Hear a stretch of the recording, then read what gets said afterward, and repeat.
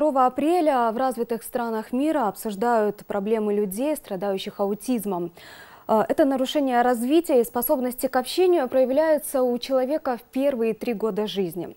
Э, по статистике, во всем мире один ребенок из 150 имеет диагноз аутизм. Но, как мы заметили, люди мало что знают об этой болезни. И, к сожалению, большинство думают, что люди, которые имеют этот диагноз, их нужно изолировать, и они опасны для общества. Сегодня мы попытаемся опровергнуть этот факт. И сегодня у нас в гостях Фатиме Абдураймановна, э, руководитель социального творческого центра «Преград нет» благотворительного фонда «Живая вода». Фатиме, мы вас приветствуем в нашей студии. Ну вот мы знаем, что как раз-таки ваш творческий центр, он занимается с такими детками, особенными детками, да, и, а, как показывает практика, эти дети совершенно не опасны они в принципе и не отличаются от других детей, и точно так же они могут заниматься и танцами, и а, актерским мастерством. Расскажите, как это все происходит и чему вы их обучаете? Да, вы правы. На самом деле вот эти дети, вот мы, э, мы уже работаем с такими детьми с диагнозом аутизм более двух лет,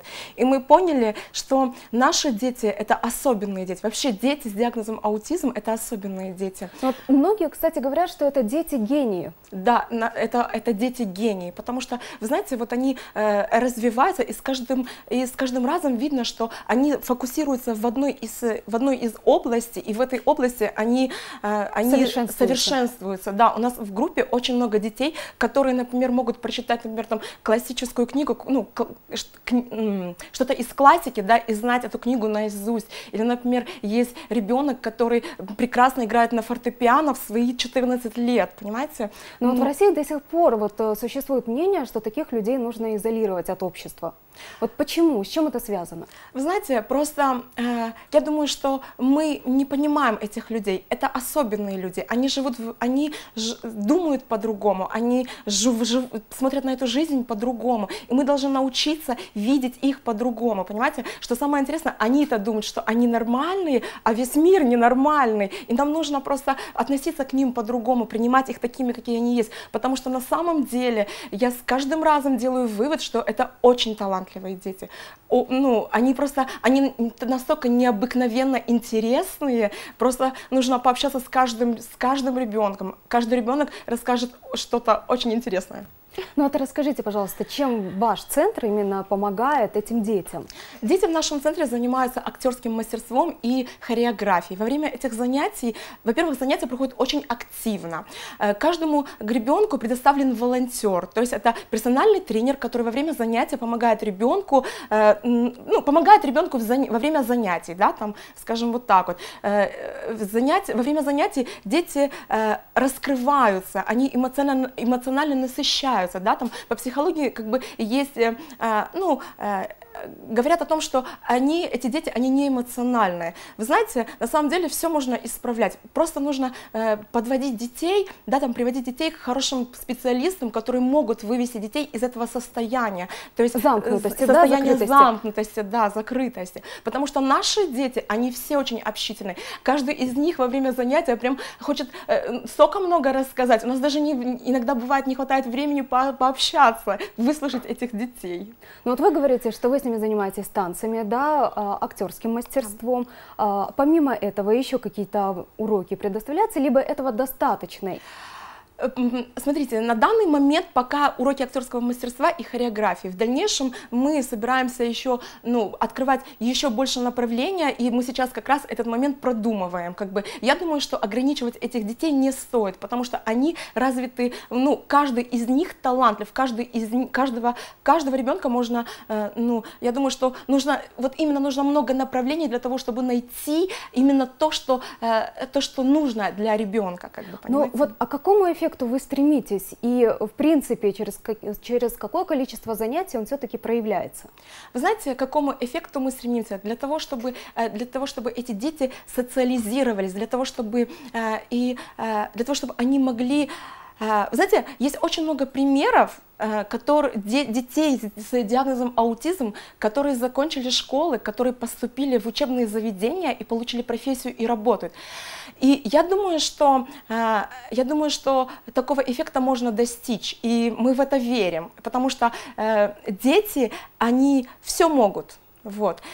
И я думаю, что как бы это возможно. И еще, знаете... Но вот вы говорите, что вы уже два года занимаетесь такими детьми, а вот уже есть какие-то шаги, уже продвинулись, в принципе, в Конечно, развитии детей? Вы знаете, а, конечно, есть уже, есть уже какие-то результаты. Например, там ребята уже, э, как бы, они, у них хорошая развитая, э, э, у них хорошая память, и они полностью запоминают хореографию. Например, есть уже ребята, которые действительно, они так танцуют, и я думаю, что, в- что в будущем они могли бы быть хорошими хореографами, даже, может быть, хорошими танцорами, понимаете, или актерами. Ну, у них, знаете, вот если хорошо развивать, то у них хорошо развивается актерское мастерство, как бы, вот, я думаю, Но, что... в принципе, тем самым вы социализируете детей, то есть вы готовите к тому, чтобы потом они могли в обществе себя чувствовать комфортно, либо, в принципе, им и не обязателен этот творческий центр, они и, э, начиная там с какого-то возраста, уже могут быть в обществе, находиться с людьми, либо же им обязательно нужно получать сначала занятия. Ну, знаете, такие? дети разные. Есть дети, которые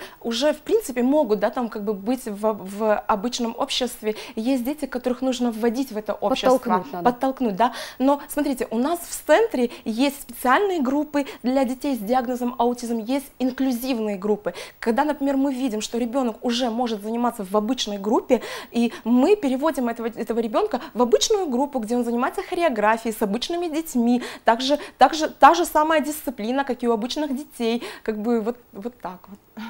Но а, вот все-таки говорят, что часто и м, главное родителей тоже подключать к воспитанию особенных детей, потому что родители, ну понятное дело, они пугаются этого диагноза, да, они сами закрываются и все перекладывают на волонтеров. Насколько это правильно и как вы работаете с родителями? Вы знаете, очень важно, очень важно, чтобы родители видели своего ребенка необычным. Очень важно. И когда, когда уже родитель понимает, что его ребенок необычный, это, знаете, для нас это очень огромная большая помощь. Мы тогда начинаем сотрудничать с родителями, мы обмениваемся опытом, мы э, как бы, э, ну, мы обмениваемся опытом, и это дает возможность ребенку быстро расти и развиваться. Есть, конечно, родители, которые не могут, ну, знаете, им тяжело вас, ну, принять э, своего ребенка особенным, как бы, и а, мы ведем с такими Часто им родителями... тоже нужна такая помощь Да, и мы ведем с такими родителями э, как бы психологическую помощь, мы поддерживаем таких родителей. Вы знаете, и в основном э, идет поддержка, ну, вот, э, когда родители общаются между собой, потому что на самом деле, вы знаете, очень много родителей, которые понимают, что его ребенок особенный. А вот вы рассказали об инклюзивном образовании, да, вот что это такое, можно более подробно? Инклюзивное образование, смотрите, ребенок э, приходит в обычную группу, вот, э, в обычную, обычную группу с хореографии. обычными детьми С в обычными детьми, да, там, допустим, в группе 20 человек, и э, как бы, и вот он единственный такой у нас особенный. Вы знаете, что самое интересное, что дети вполне воспринимают этого ребенка, обычно воспринимают, и он обычно себя чувствует, да, там, как бы, вот, я думаю, что, и, ну, ну, у нас занятия по хореографии, да, там проходят, вот, и он а, занимается со всеми детьми наравне, как бы вот так вот. Бывает, вот- конечно, ребенок и балуется, бывает и, э, ну, показывает свои особенности, но, э, ну, все равно это интересно. Но тем не менее, э, среди вот этого диагноза, да, есть такие симптомы, как то, что они боятся каких-то звуков. А вы говорите, что вы как раз-таки занимаетесь хореографией, это постоянная музыка. Это их не пугает? Вы знаете, когда, м, ну, в то время, когда мы занимаемся в специальной группе, мы работаем с ними так, что они перестают пугаться звуков, перестают пугаться там чужих детей, людей, новых тренеров, потому что они все время видят, что во время занятий очень много волонтеров, с ними общаются, с ними их, ну, интересуются, интересуются их мнением, интересуются, ин- интересуются вообще ими, понимаете? Вот, и из-за этого, когда мы уже понимаем, что ребенка, в принципе, можно уже перевести в, специ... э, в инклюзивную группу, ребенок уже заходит туда как э, к себе э, в группу, в обычную группу, понимаете, как бы вот так вот. А вот расскажите о волонтерах, что это за люди и имеют ли они какое-то образование, то есть либо это наоборот только посыл души такой?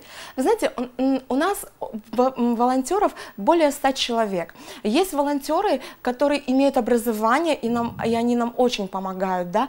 И есть волонтеры, это ученики нашей школы, взрослые дети, дети — это посыл души, вот, и они приходят, и они общаются с этими детьми, со своими сверстниками. И вы знаете, что я хочу сказать, что вот именно когда дети их возраста приходят и общаются с ними, это даже идет больше, ну, больше пользы и больше реабилитации для этих детей, чем как бы а, а, придет, например, ну, как бы профессионал, но я никак, я не, я не хочу никак там, ну, как бы сказать о том, что, ну, просто я имею в виду о том, что э, когда дети, дети общаются со своими сверстниками, это идет, ну, больше эффективность, понимаете, то есть они понимают друг друга. Но вот вы говорите, что в инклюзивных группах они как раз-таки общаются с обычными детьми, а вот как эти дети обычные, да, достаточно воспринимают особенных детей? Они воспринимают их обычно. Вы знаете, я вам хочу сказать, что им даже интереснее общаться с таким ребенком. Очень интересно. Потому что детям с диагнозом аутизм очень много есть чего рассказать. Просто мы знаем, что иногда дети бывают достаточно жестокими. А, вы знаете, э, есть дети разные, не то что жестокими, может быть, они могут быть немножко поведенческими, но они не жестокие. Их нужно просто понимать, их нужно просто... В этот момент, когда, например, ребенок начинает там э, как бы, ну, вести себя, может как бы, ну, немного так ну, бурно, можно сказать, да, в этот момент нужно просто, должен быть просто особый подход, нужно просто подойти к ребенку, взять его, ну, взять его ручку, да, там как бы, ну, то есть э, особый подход должен быть, как бы вот так вот. Но они особо, они не жестокие на самом деле, они просто особенные. И еще раз напомните, как можно найти центр, к кому можно обратиться, да, и с какого возраста стоит приводить детей? Вы можете э, найти наш центр э, в интернете, благотворительный фонд социальных и творческих инициатив «Живая вода». Э, наш президент, руководитель Горькова Евгения Сергеевна. Президент нашего фонда, руководитель Горькова Евгения Сергеевна. А, мы благодарим вас за сегодняшнюю беседу и хотелось бы опять отметить, что в России, к сожалению, существует мнение, что люди, страдающие аутизмом, их нужно изолировать от общества, и что они даже опасны для людей. Но вот Сегодняшние ваши слова доказали обратное, что на самом деле это особенные дети, особенные во всем, и они точно так же нуждаются в нашем с вами общении, да, и в наших силах предоставить такое общение. Мы вас благодарим за то, что вы сегодня к нам пришли. Всего доброго, до встречи в эфире. Спасибо.